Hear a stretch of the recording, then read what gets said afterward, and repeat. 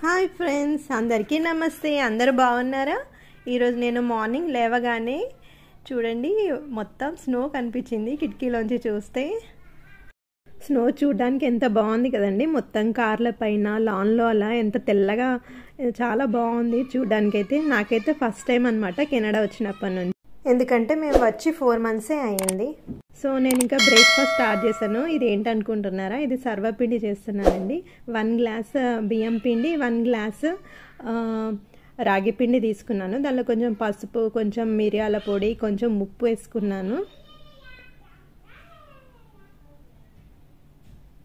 కొంచెం కారం కూడా వేసుకున్నాను మళ్ళీ. సో ఇదంతా సైడ్కి పెట్టేసుకొని ఒక మిక్సీ జార్లో కొంచెం వెల్లుల్లిపాయ కొన్ని కొంచెం జీలకర్ర కొంచెం ఎక్కువగా ధనియాలు ధనియాలు ఎక్కువ వేస్తామన్నమాట. ఇవన్నీ వేసి గ్రైండ్ చేసి పెట్టుకున్నాను. మళ్ళీ ఈ ప్లేట్లో తెల్ల నువ్వులు ఎక్కువ వేసుకుంటాను అనమాట ఎందుకంటే ఈ సర్వపిండిలో నువ్వులు వేసుకుంటే చాలా టేస్టీగా ఉంటుంది. మళ్ళీ నువ్వుల్లో ఐరన్ కాల్షియం ఉంటాయి కాబట్టి పిల్లలకు కూడా చాలా మంచిది అనమాట సో ఆ ప్లేట్ మొత్తం మిక్స్ చేసుకుంటున్నాను. మొత్తం ఆ కారం ఉప్పు అవన్నీ కలిసిపోయేలాగా.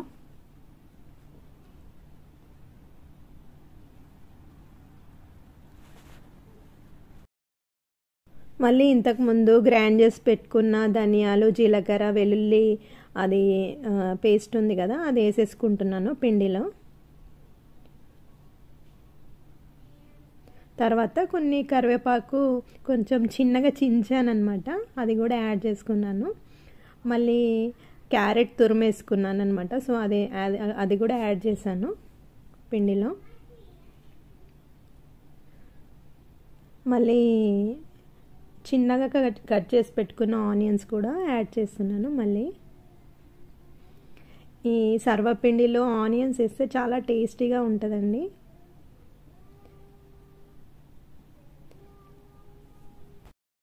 సో ఇవన్నీ మంచిగా కలిపేసుకోవాలన్నమాట. మొత్తము ఇవన్నీ యాడ్ చేసాం కదా. క్యా క్యారెట్ కరివేపాకు ఉల్లిపాయ ఇవన్నీ మంచిగా కలిపేసుకోవాలి. మళ్ళీ ఇందులో కొన్ని వేడి నీళ్ళు వేసుకోవాలన్నమాట. నేను ఆల్రెడీ వేరే బౌల్లో నీళ్ళు వేడి చేసి పెట్టుకున్నాను. ఆ వేడి నీళ్ళు వేసానమాట ఎందుకంటే మనం దీనిలో రాగి పిండి కూడా యాడ్ చేసుకున్నాం కదా. సో వేడి నీళ్ళు యాడ్ చేస్తే రాగిపిండి మంచిగా కొంచెం ఉడికినట్టు అవుతుంది అనమాట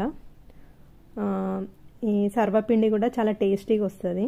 సో ఇలా పిసుకొని పెట్టుకోవాలన్నమాట మంచిగా. మరీ పల్చగా కాకుండా ఇలా కొంచెం గట్టిగా వచ్చేలాగా పిసుకొని పెట్టుకోవాలి. చూడండి ఎలా ఉందో పిండి అలా పిసుకొని పెట్టుకోవాలి. సో నేను ఒక ప్యాన్ తీసుకొని ఆ ప్యాన్కి కొంచెం ఆయిల్ యాడ్ చేశాను అనమాట ఆయిల్ యాడ్ చేసి ఈ సర్వపిండి రౌండ్గా పెద్ద ముద్ద తీసుకొని అలా ప్రెస్ చేస్తున్నాను చూడండి. అలా మంచిగా ఒత్తుకోవాలన్నమాట. దీనికి ఆ ప్యాన్లో కొంచెం ఫస్ట్ ఆయిల్ ఎక్కువనే యాడ్ చేయాల్సి ఉంటుంది. ఎందుకంటే సర్వపిండి ఆయిల్ ఎక్కువ ఉంటేనే టేస్టీగా ఉంటుంది. సో ఇలా సన్నగా ఒత్తుకోవాలన్నమాట సర్వపిండిని. ఎంత సన్నగా ఒత్తుకుంటే అంత టేస్టీగా అనిపిస్తుంది.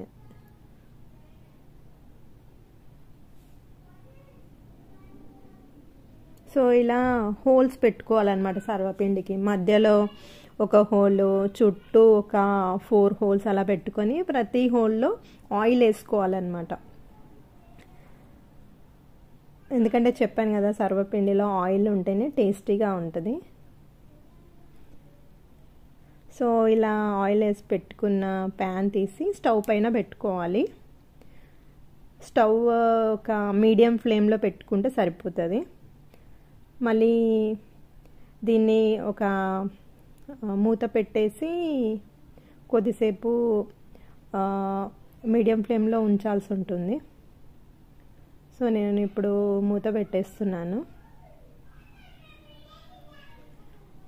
ఇలా ఒక సిక్స్ సెవెన్ మినిట్స్ వరకు పెట్టుకోవాలి. మధ్య మధ్యలో చూస్తూ ఉండాలి.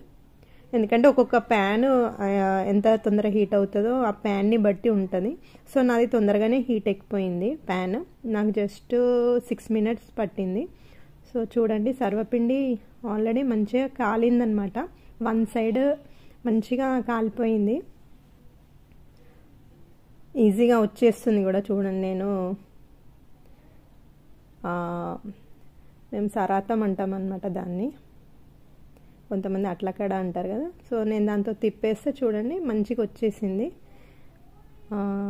వన్ సైడ్ కుక్ అయితే సరిపోతుందండి. నెక్స్ట్ సైడ్ కుక్ చేయాల్సిన అవసరం లేదు సర్వపిండి. సో ఇలా ప్లేట్లోకి తీసేసుకున్నాను. సో ఇది బ్రేక్ఫాస్ట్ అయిపోయింది. పిల్లలు ఇంకా స్కూల్కి వెళ్ళిపోతున్నారు అనమాట వాళ్ళ లంచ్ బాక్స్లో కూడా కొంచెం ఇది పెట్టేశాను అనమాట నేను జస్ట్ వాళ్ళ లంచ్ బాక్స్ వాళ్ళ బ్రేక్ఫాస్ట్ వరకు సర్వపిండి చేశాను యాక్చువల్గా. తీరా చూస్తే చూసే నైన్ ఓ క్లాక్కి అలా కరెంట్ పోయిందనమాట యాక్చువల్గా కెనడాలో కరెంట్ ఎప్పుడు పోదనమాట పవర్ కట్స్ చాలా తక్కువ. కానీ ఇక్కడ ఈరోజు సడన్గా కరెంట్ పోయింది. సో నేను ఇంకా నా పిల్లలు వెళ్ళిన తర్వాత ఈ పనులన్నీ చేసేసుకుంటున్నాను ఇంట్లో పనులు. సో మాకు రెండు కంఫర్టర్స్ ఉన్నాయన్నమాట. సో మేము నలుగురమే కాబట్టి రెండు కంఫర్టర్స్ తీసుకున్నాము. ఈ లావు దుప్పట్లని కంఫర్టర్స్ అంటారనమాట సో నేను ఇంకా ఆ బెడ్రూమ్లో విండో కూడా ఓపెన్ చేశాను. సో నేను ఇప్పుడు మార్నింగ్ ఫేస్ రొటీన్ చేసుకుంటున్నాను అనమాట ఏంటంటే coffee powder with coconut oil అనమాట వన్ స్పూన్ కాఫీ పౌడర్ ఇంకా one spoon coconut oil add చేసుకోవాలన్నమాట. చూడండి నేను వన్ స్పూన్ కాఫీ పౌడర్ తీసుకుంటున్నాను. యాక్చువల్గా ఇక్కడ వింటర్కి చర్మం చాలా పగిలిపోతుంది అనమాట కెనడాలో చాలా కోల్డ్గా ఉంటుంది కదా. సో ఈ కోకోనట్ ఆయిల్ ఇంకా ఈ కాఫీ పౌడర్ మిక్స్ చేసుకొని మనం ఫేస్కి అప్లై చేసుకుంటే మన స్కిన్ చాలా బాగుంటుంది అనమాట అంటే ఇలా మెత్తగా ఉంటుంది అనమాట పగలకుండా.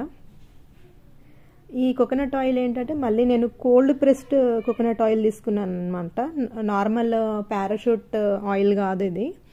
కోల్డ్ ప్రెస్డ్ కోకోనట్ ఆయిల్ అనమాట సో వన్ స్పూన్ కాఫీ పౌడర్లో one spoon cold pressed coconut oil add చేసుకొని ఇలా అప్లై చేసుకోవాలన్నమాట ఫేస్కి నీట్గా ఫేస్ అంతా మంచిగా అప్లై చేసుకోవాలన్నమాట. ఈ కోకోనట్ ఆయిల్ ఫేస్ని చాలా మాయిశ్చరైజ్ చేస్తుంది అనమాట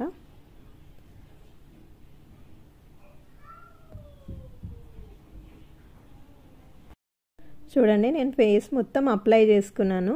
ఇది నెక్కి కూడా అప్లై చేసుకోవచ్చు. ఫేస్ అండ్ నెక్ రెండింటికి అప్లై చేసుకొని ఒక టెన్ మినిట్స్ ఉంచుకొని వాష్ చేసుకుంటే చాలా ఫ్రెష్గా ఉంటుందండి. చర్మం కూడా చాలా నీట్గా కనిపిస్తుంది. ఇట్లా మాయిశ్చరైజర్ ఎఫెక్ట్ చాలా కనిపిస్తుంది. సో ఈ ఫేస్ రొటీన్ తర్వాత నేను ఎక్సర్సైజెస్ మొదలు పెట్టాను అనమాట సో ఇది ఉత్తాన్ పాదాసన అయిపోయినాక నేను ఈ నౌకాసన చేస్తున్నాను అనమాట నాకు అలవాటు అనమాట ఆల్మోస్ట్ వీక్లీ త్రీ టైమ్స్ అయినా చేస్తాను యోగా. ఎందుకంటే బాడీ మెయింటైన్ చేయాలి కాబట్టి. సో ఇక్కడ జిమ్స్ కూడా దగ్గర లేవు. సో కొన్ని యోగాసనాలు అలా చేస్తానన్నమాట. నేను ఇప్పుడు చేస్తున్నది తడాసన. ఇది వేళ్ళపైన ఇలా నించోవాలన్నమాట. సో ఇలా చేతులు పైకని ఇలా పైన ఇట్లా చేతులు బిగించుకోవాల్సి ఉంటుంది. కింద వేళ్ళపైన నించోవాలి. ఇలా థర్టీ సెకండ్స్ ఇలా హోల్డ్ చేసి నించోవాలన్నమాట ఈ ఆసనంలో. సో నెక్స్ట్ నేను ఇప్పుడు చేస్తుంది కోనాసన ఫస్ట్ ఇలా హ్యాండ్ స్ట్రైట్ పెట్టి తర్వాత ఇలా ఒక్కొక్క సైడ్ బెండ్ అవ్వాలి. ఫస్ట్ రైట్ సైడ్ అయ్యాక తర్వాత లెఫ్ట్ సైడ్ అలా ఒక ఫైవ్ సిక్స్ టైమ్స్ ఇలా చేసుకోవాలి. దీన్ని కోనాసన అంటారు. ఆసనాలకి ఎన్నో బెనిఫిట్స్ ఉన్నాయి. సో ఇంట్లో పవర్ కట్ అవ్వడం వల్ల మా హస్బెండ్ లైబ్రరీకి వెళ్తున్నారు. లైబ్రరీలో వైఫై ఉంటుందన్నమాట. ఎందుకంటే ఆయన ఆఫీస్ వర్క్ చేసుకోవాలి. ఈరోజు వర్కింగ్ డే సో ఆయన ఇలా లై లైబ్రరీకి వెళ్ళి ఆఫీస్ వర్క్ చేసుకోవడానికి వెళ్ళిపోతున్నారు. యాక్చువల్లీ ఇక్కడ పవర్ లేకపోవడం వల్ల చాలా ప్రాబ్లమ్స్. ఎందుకంటే ఈవెన్ కుకింగ్ కూడా చేసుకోలేము. నేనేమో సర్వపిండి జస్ట్ పిల్లల వరకే చేశాను. వాళ్ళ టిఫిన్ల వరకే చేశాను. సో నేను నాకు బ్రేక్ఫాస్ట్ లేదు. సో ఇలా బిస్కెట్స్ తింటున్నాను. నెక్స్ట్ ఇంకా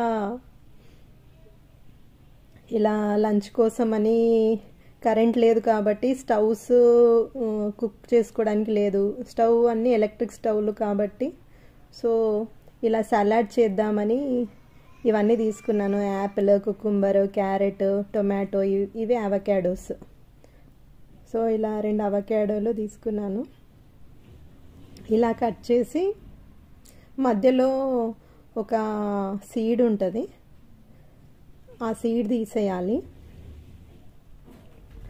ఆ సీడ్ ఇలా తీసేసుకొని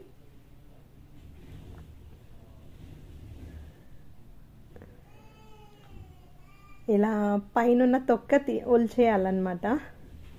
అలా ఒలిచేసుకొని అవకాడోని ఇలా కట్ చేసుకోవాలి. చూడండి లంచ్కి ఎవరైనా సలాడ్ తింటారా అసలు? నేను సలాడ్ తినాల్సి వస్తుంది ఇక్కడ కరెంటు లేకపోవడం వల్ల. సో ఇలా అన్ని అవకాడోలో తొక్కలు తీసేసుకొని ఇలా కట్ చేసుకోవాలి. మామూలు మీడియం పీసెస్లా కట్ చేసుకొని ఇలా సైడ్కి పెట్టేసుకోవాలి. యాక్చువల్గా ఇక్కడ అవకాడోలు చాలా ఎక్కువగా దొరుకుతాయి. ఎందుకంటే ఇక్కడ వీళ్ళ క్లైమేట్కి అవకాడో బాగా గ్రో అవుతాయి. మళ్ళీ నెక్స్ట్ ఈ కుకుంబర్ పీల్ చేసుకుంటున్నాను. ఇలా కుకుంబర్ పీల్ చేసుకోవాలి. తర్వాత దాన్ని మంచిగా చిన్నగా కట్ చేసుకోవాలి. చిన్న పీసెస్లా కట్ చేసుకుంటే బాగుంటుంది సలాడ్లో తినడానికి. తర్వాత నేను ఒక యాపిల్ తీసుకొని దాన్ని పీల్ చేసుకుంటున్నాను. యాపిల్ మొత్తం ఇలా నీట్గా పీల్ చేసుకోవాలి. పీల్ చేసుకున్న యాపిల్ని చిన్నగా పీసెస్ లాగా కట్ చేసుకోవాలి. ఇలా చిన్న పీసెస్ లాగా కట్ చేసుకుంటే తినడానికి కూడా సలాడ్లో చాలా టేస్టీగా వస్తుంది యాపిల్. చూసారా? యాపిల్ ఇలా కట్ చేసుకున్నాను మొత్తానికి చిన్న చిన్న పీసెస్గా నెక్స్ట్ టమాటో తీసుకున్నాను. టమాటో కూడా చిన్న పీసెస్గా కట్ చేసుకోవాలి. చూడండి ఇట్లా ఫస్ట్ స్లైసెస్ లాగా కోసుకొని తర్వాత చిన్న పీసెస్గా కట్ చేసుకోవచ్చు. ఇలా కట్ చేసుకోవడం వల్ల మన సలాడ్కి చాలా టేస్ట్ వస్తుంది. నెక్స్ట్ నేను క్యారెట్ తీసుకున్నాను. క్యారెట్ తురుముతున్నాను అనమాట చూడండి ఇలా సన్నగా తురుముకోవాలి క్యారెట్ కూడా. ఎందుకంటే క్యారెట్ ముక్కలు పెద్దగా ఉంటే సలాడ్ టేస్టీగా ఉండదు. క్యారెట్ స్మెల్ వస్తుంది. చూడండి అవకాడో కుకుంబరు యాపిల్ ఇలా చిన్న పీసెస్గా కట్ చేసుకున్నాను. ఇవన్నీ కలిపి ఒక బౌల్లో తీసుకున్నాను మొత్తము. తర్వాత టూ లెమన్స్ కట్ చేసుకుంటున్నాను. ఎందుకంటే ఈ సలాడ్లో లెమన్ జ్యూస్ వేస్తామన్నమాట. అంటే డ్రెస్సింగ్ సలాడ్కి డ్రెస్సింగ్ అనమాట ఎందుకంటే సలాడ్ టేస్టీగా ఉంటుంది అనమాట డ్రెస్సింగ్ వేయడం వల్ల. చూడండి రెండు నిమ్మకాయలు పిండేసుకుంటున్నాను దీనిలో.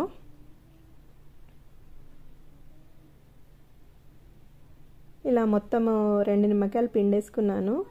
తర్వాత కొంచెం పెప్పర్ పౌడర్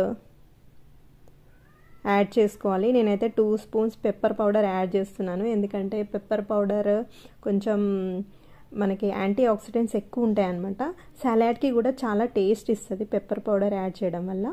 అలాగే కొంచెం ఆయిల్ ఆలివ్ ఆయిల్ వేస్తున్నాను. ఇక్కడ కెనడాలో ఆలివ్ ఆయిల్ ఎక్కువగా దొరుకుతుంది. ఇక్కడ వాళ్ళు ఆలివ్ ఆయిల్ ఎక్కువగా వాడతారు. అట్లాగే కొంచెం పింక్ సాల్ట్ యాడ్ చేస్తున్నాను. నేను పింక్ సాల్ట్ వాడతాను నార్మల్గా. మీకు తగినంత ఉప్పు వేసుకోవచ్చు. సో ఇవన్నీ కలిపి స్పూన్తో మిక్స్ చేస్తున్నాను. సో ఇలా మిక్స్ చేశాను స్పూన్తో.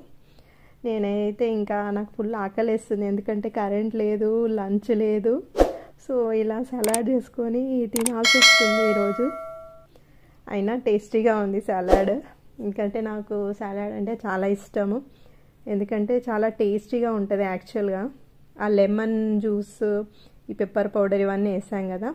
నెక్స్ట్ ఇది కనిపిస్తుందేమో ఇక్కడ పవర్ కట్ అయ్యి అయ్యిందని చెప్పాను కదా. ఎందుకు అయ్యిందంటే ఇక్కడ కరెంట్ పోల్స్ వేస్తున్నారనమాట చూడండి.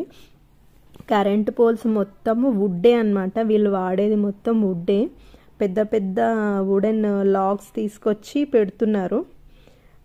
కొత్త కరెంట్ పోల్స్ లాగా పెడుతున్నారు అనమాట ఆల్రెడీ పాతవి ఉన్నాయి కూడా. వుడెన్వే అనమాట మొత్తం వుడ్డే మనలాగా సిమెంట్ స్తంభాలు ఇంకా ఐరన్ స్తంభాలు ఉండవు ఇక్కడ. ఇక్కడ అంతా వుడ్డే వాడతారు స్తంభాలుగా కరెంటు స్తంభాలుగా.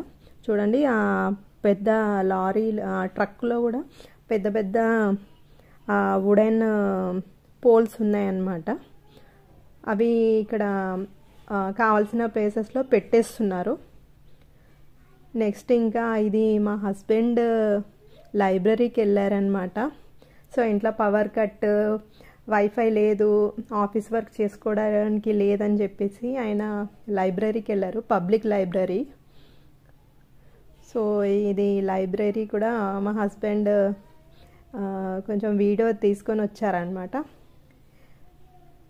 చూడండి ఇక్కడ లైబ్రరీస్ ఎక్కువగానే ఉంటాయి. ఇక్కడ రీడింగ్ హ్యాబిట్స్ ఎక్కువ ఉంటుంది కెనడా కెనడియన్స్కి. చిన్నప్పటి నుంచే స్కూల్లోనే రీడింగ్ హ్యాబిట్ అలవాటు చేస్తారు వీళ్ళు.